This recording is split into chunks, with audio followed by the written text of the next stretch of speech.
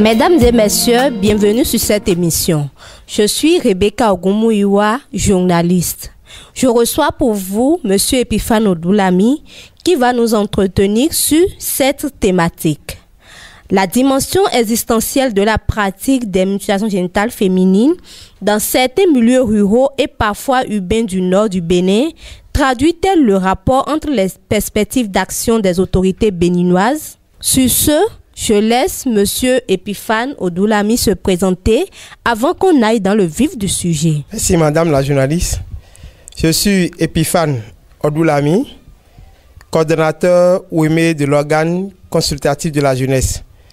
Je suis également le président du conseil d'administration de l'ONG Jeunes engagés pour la solidarité, la paix et le développement. Merci. C'est tout un plaisir pour nous de vous avoir à nos côtés, malgré votre agenda chargé. Merci, Madame la journaliste. Alors, sans plus tarder, nous irons dans le vif du sujet. Alors, Monsieur Epiphane Odoulami, dites-nous, c'est quoi, selon vous, les mutilations génitales féminines? Euh, Merci. Les mutilations génitales féminines sont définies selon l'Organisation mondiale de la santé comme étant une ablation totale ou des organes génitaux externes féminins ou une lésion de ces organes pratiqués pour des raisons culturelles ou toute autre raison non thérapeutique. On considère toute intervention qui altère ou lèse intentionnellement les organes génitaux externes de la femme pour des raisons non médicales comme une mutilation génitale féminine. Elle est considérée comme une atteinte à la dignité physique de la femme ou une violence grave des droits humains fondamentaux. L'excision est la forme la plus répandue des mutilations génitales féminines, mais elle n'est pas la seule. Selon l'Organisation mondiale de la santé, les mutilations génitales féminines sont réparties en quatre catégories.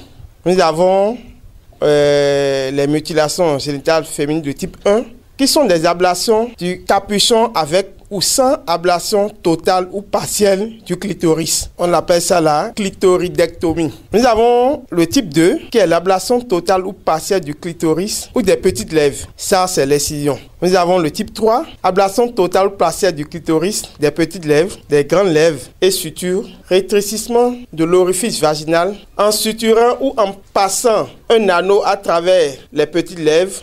Nous appelons ça l'infibulation. Les types 4 qui sont pour les autres cas, par exemple, le rétrécissement du vagin par l'utilisation des substances corrosives, l'étirement des grandes lèvres. La mutilation génitale féminine est une pratique traditionnelle qui se produit depuis des siècles. Il y a plusieurs mythes qui sont à la base de cette pratique. La mutilation génitale féminine est liée à l'égalité des sexes, l'enraciné dans les structures politiques, sociales, culturelles et économiques des sociétés qui la pratiquent. Elle reflète une discrimination dont sont victimes les femmes tant dans la vie publique que privée. La mutilation génitale féminine n'est pas une pratique religieuse. C'est une pratique culturelle qui est passée d'une génération à l'autre et qui vise à contrôler la sexualité des jeunes femmes.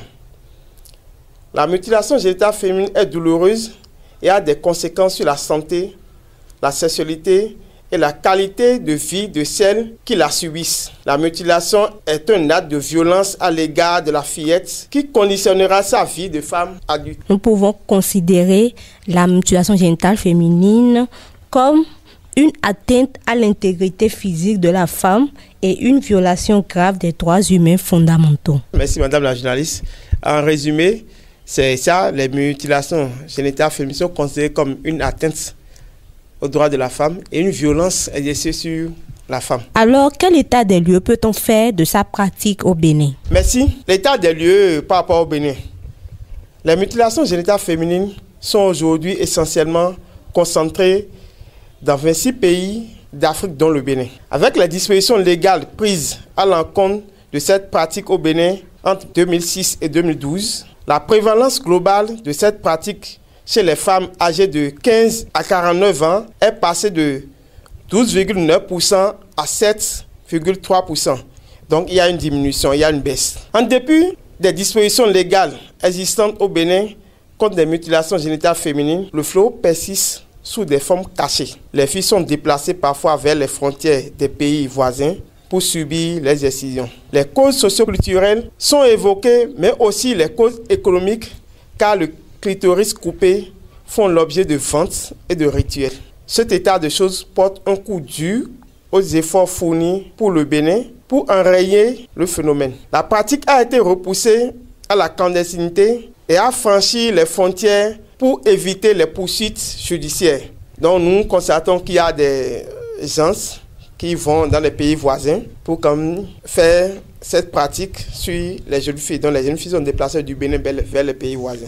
Avec les différentes campagnes de sensibilisation et les actions menées par l'État et les organisations nationales et internationales, plusieurs chefs religieux s'allient à la cause de la lutte contre les mutilations génitales féminines. Étant influenceurs dans leur communauté, ils arrivent à décourager la pratique. Les faits suggèrent qu'il y a eu des progrès vers l'élimination des mutilations génitales féminines au Bénin grâce à des projets de terrain locaux, ainsi qu'à des programmes de lutte contre les mutilations génitales féminines financés par des sources internationales. Les services non gouvernementaux ont précédemment soutenu les organisations non gouvernementales à travers les campagnes dans le cadre des efforts en cours pour mettre fin à cette pratique. Les services gouvernementaux ont précédemment soutenu la campagne d'information des organisations non gouvernementales, c'est-à-dire les ONG, dans le cadre des efforts en cours pour mettre fin à cette pratique. Des plaidoyers sont faits à l'endroit des autorités traditionnelles en vue de leur renonciation à la pratique. Des mesures incitatives ont été prises à l'endroit des inciseuses et inciseurs afin qu'ils ou elles déposent le couteau. Suite à ces actions, les auteurs impliqués dans les incisions sont simulés à la fin de cette pratique. Malheureusement, une étude qualitative réalisée en 2017 à travers la Direction générale de la famille et des affaires sociales et l'Observatoire de la famille, de la femme et de l'enfant, complété par une seconde quantitative en 2018 dans 10 communes du Nord sur les mutilations génitales féminines au Bénin, ont confirmé la persistance de cette pratique. Des poches de résistance existent et des stratégies de contournement des, dispositions légales et des dispositifs communautaires sont développés par les acteurs.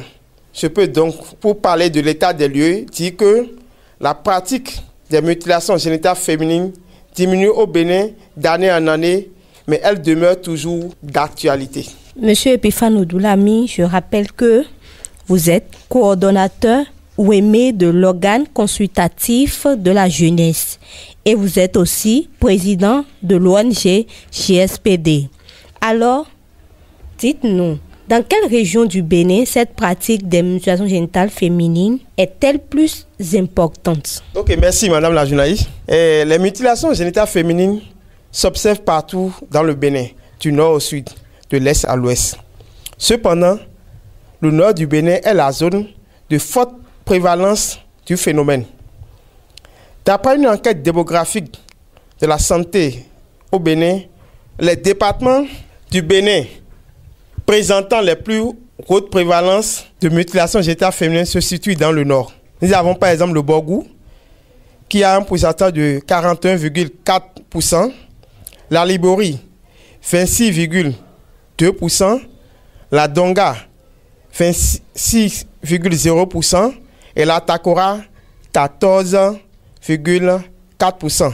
Donc nous voyons que cette pratique est vraiment concentrée dans les quatre départements du Nord Bénin.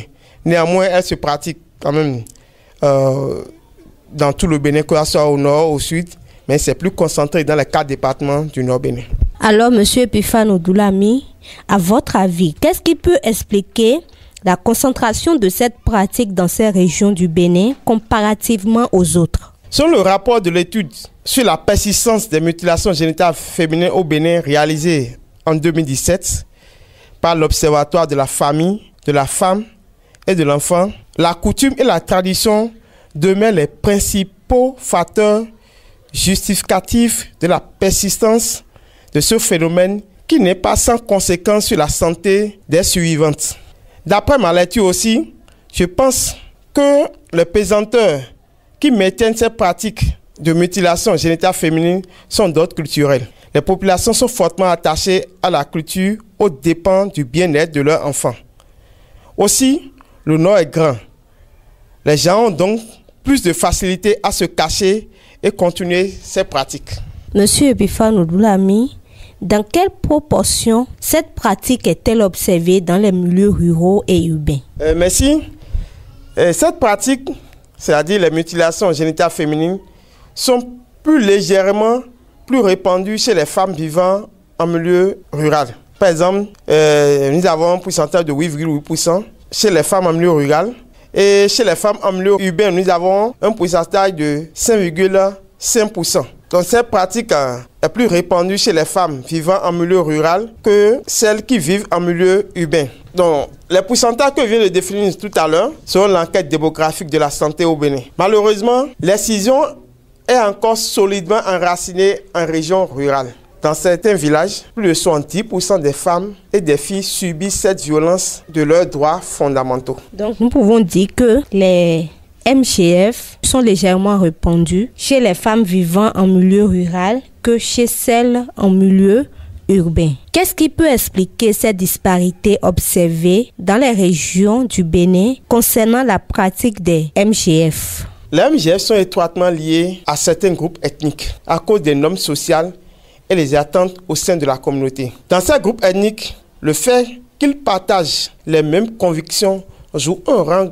grand rôle dans la perpétuation de ces pratiques. L'enquête démographique de la santé au Bénin a montré que les MJF semblent plus pratiqués par les musulmans, à un pourcentage de 27%, que par les croyants d'autres religions et l'étendue de la pratique varie considérablement d'un groupe ethnique à l'autre, avec une prévalence de plus de 40% chez les Bariba, les Peuls et de moins de 1% chez les Adia et les Fonds.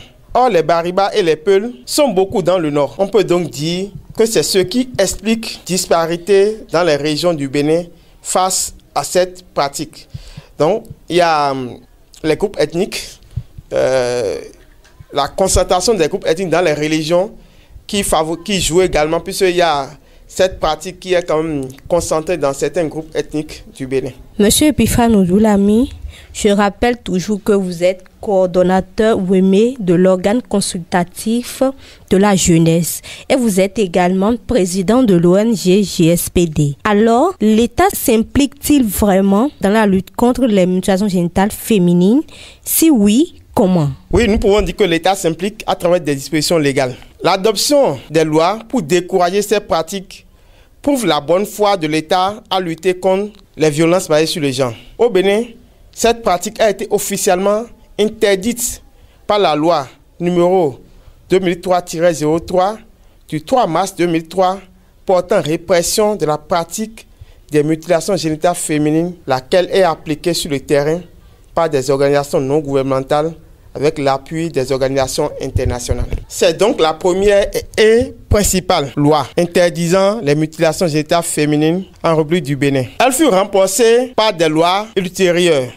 Nous pouvons citer la loi numéro 2021. Nous pouvons citer la loi 2011-26 portant prévention et répression des violences faites aux femmes. Cette loi a une application plus large puisque l'article 2 interdit tout acte de violence dirigé contre le sexe féminin et causant ou pouvant causer aux femmes un préjudice ou des souffrances physiques, sexuelles ou psychologiques et fait spécifiquement référence aux mutilations génitales féminines dans le cadre de la loi principale 2003-03. Nous avons également la loi numéro 2015-08 portant Code de l'enfant en République du Bénin, section 9, les articles 185 et 188 font explicitement référence aux mutilations génitales féminines pratiquées sur les enfants. Toutefois, rien ne semble indiquer que des cas de MGF fassent l'objet de poursuites en vertu de ces lois.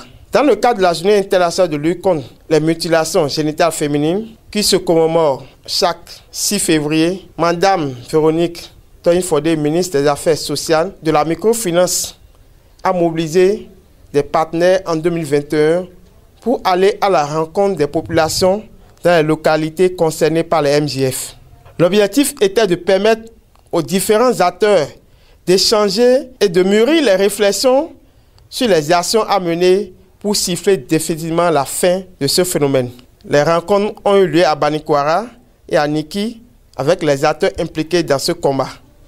Elle a réaffirmé la détermination du gouvernement à faire appliquer la loi à ceux qui continuent de s'en mêler de près ou de loin, quel qu'en soit le mode, et un appel particulier a été lancé aux têtes couronnées, aux responsables religieux, aux élus locaux, afin de poursuivre la sensibilisation. Vu l'implication de, l'État dans la lutte contre les mutilations génitales féminines, alors M. Epiphane Odoulami, quelles sont les perspectives d'action des autorités béninoises dans ces régions? Les dispositions juridiques existent pour lutter contre les MGF, mais il faut que les autorités réfléchissent sur un national solide qui prend en compte les MGF transfrontaliers afin de venir à bout de ce phénomène dans les régions du Nord Bénin. L'État n'a pas prévu dans la loi numéro 2003-03 portant répression de la pratique des mutilations génitales féminines en plus du Bénin un chapitre qui traite des dispositions concernant les MGF transfrontaliers. De plus, les actions des ONG ne sont pas bien renforcées sur le terrain. Alors, Monsieur Epiphane, ces perspectives tiennent-elles en compte cette disparité? Oui, avec l'exemple des dialogues communautaires dont j'ai parlé plus haut, on peut dire que les perspectives tiennent en compte des disparités. Les dialogues ont eu lieu avec la cible à la base dans les communautés concernées. Il est important d'expliquer à ces personnes pourquoi et en quoi les MGF sont nuisibles et néfastes aux filles et aux femmes. Monsieur Epiphane Doulami, ces perspectives ont-elles suffisamment pris en compte tous les pans pour venir à bout de ces pratiques? Oui, Madame la journaliste, nous pouvons dire oui, mais il y a des insuffisances. Et comme insuffisance, nous pouvons dire la non-implication des acteurs communautaires, non-association avec les organisations locales. C'est que pour les actions, il faut quand même impliquer les organisations locales à base communautaire.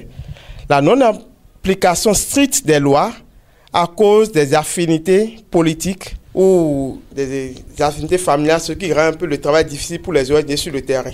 Alors, M. Epiphane Ndoulami, que doivent concrètement faire les autorités des perspectives qui prennent en compte tous les points de la lutte Merci. Il faut que les autorités impliquent les acteurs communautaires de base dans les perspectives depuis leur conception jusqu'à la mise en œuvre et le suivi.